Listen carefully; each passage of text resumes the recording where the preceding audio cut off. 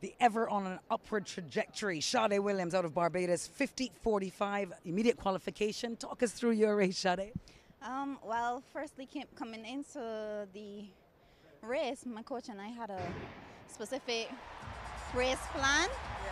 Um, he wasn't. I don't. I guess he wasn't too worried about me coming in the top three, because I know I would come in the top three. And yeah, that sounds a little bit cocky. This life. No, but you don't. It doesn't matter. Listen, athlete. This is. You see who won the 100 meters last night? True, true, true, true, true. But um, so I know I would make it into the top three. He just wanted me to focus on the race plan, and then we go from there. And I, I'll be looking forward to semifinals day after tomorrow. All right, so you're pretty happy with execution today? Ye- yes. It could be better. I think some things can be worked on um, heading into the semifinals.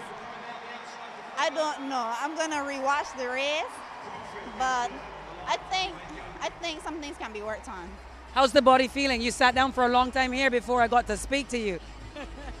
My last race was um, Jamaica Nationals, which was over a month ago. So my hamstrings were just burning so bad from lactic. Um, but overall, it felt like a comfortable race. It was just the lactic that had me. Sada, today, Monday, is Kadooment Day in Barbados. I understand it's a rainy Kadooment Day. You want to say something to your adoring public? I envy every single one of you. Well done, and we'll see you next round. Thank you.